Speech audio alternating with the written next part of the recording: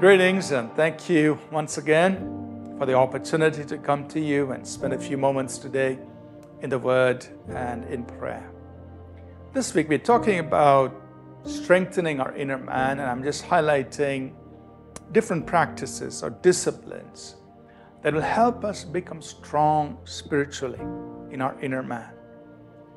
Today, I bring our attention to another discipline, which is to pray in tongues. Now, praying in tongues is something that God has made available for every child of God, for every believer. That all of us can be baptized in the Holy Spirit, and the Spirit of God comes in upon us, and He brings with Him these gifts. And one of them is the ability to speak in other tongues.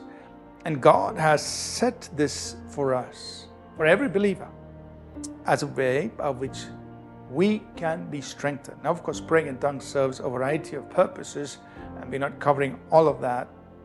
But one of the things the Bible says happens to us when we pray in tongues is that we are edified.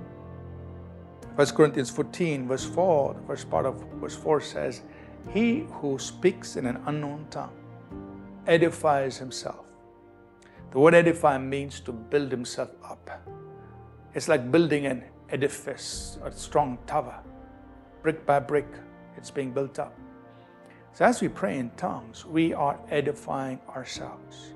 Or Jude puts it like this in Jude chapter 1, verse 20. He says, But you, beloved, building up yourselves on your most holy faith, praying in the Holy Ghost.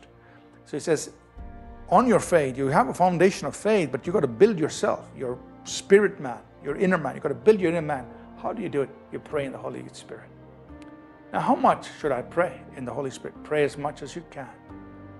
As much as you can. The Apostle Paul said, I thank my God. I speak in tongues more than all of you, writing to the Corinthians. That means he prayed a lot in tongues. So I want to encourage you take time to pray a lot in tongues. Maybe half an hour, an hour, two hours, three hours. Just spend time praying in tongues. And what happens when you do that? Your spirit man is being strengthened, it's being edified. It's a mechanism God has given to us to spiritually strengthen our inner man. And there are a lot of other things that happen to your spirit when you pray in tongues. I'm just emphasizing one aspect that you are edified in your spirit. You see, it's not about praying out there in public praying in tongues really something that's a, it's a private thing.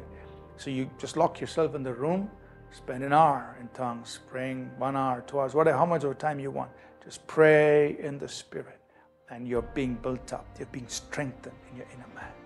God has given that to you and me as a way to strengthen our inner man. Let's make use of it. Let's pray.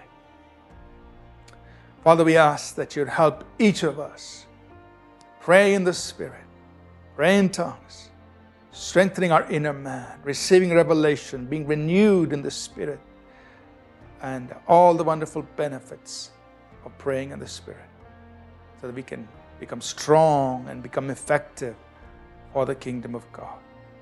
In Jesus' name, amen. Thank you for tuning in to Living Supernaturally.